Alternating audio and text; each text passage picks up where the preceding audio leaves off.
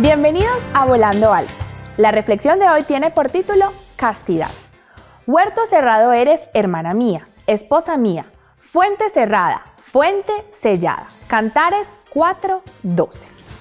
Al perderte yo a ti, tú y yo hemos perdido.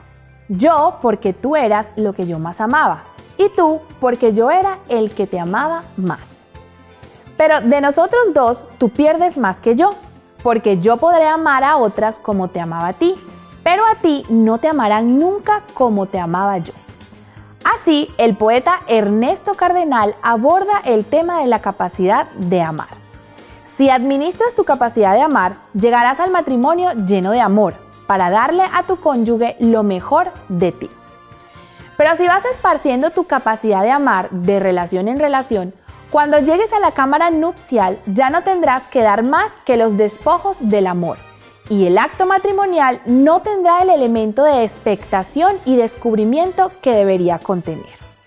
Hay una fascinación en el primer encuentro sexual que solo quienes han sabido esperar hasta el matrimonio pueden experimentar. La castidad paga bien.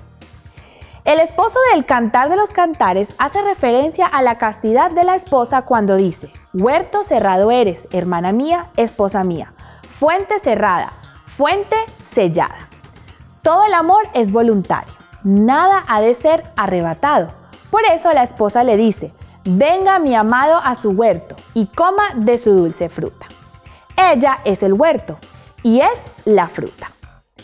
Estos son tiempos de revolución sexual pero no como la de los baby boomers de la década de 1960.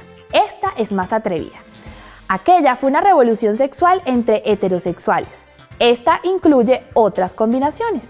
Pero los principios no dependen de modas, son eternos e inmutables.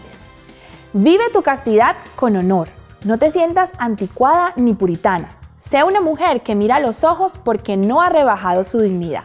Y tú, sé hombre. Es fácil ser varón, lo difícil es ser varón hombre, porque el varón nace, pero el hombre se hace. Cuida el honor de tu novia. Hasta la próxima.